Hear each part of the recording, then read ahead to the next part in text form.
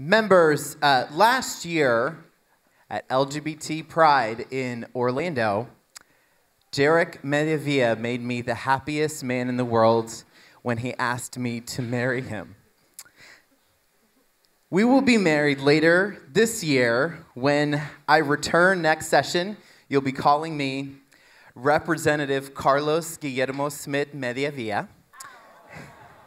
And if you're nice to me this session, you may even get an invitation to the wedding.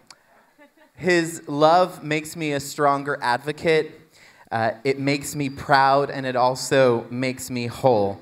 As they say, love is love. Members in the West Gallery, if you could stand, baby, my fiance, Jerick Mediavilla.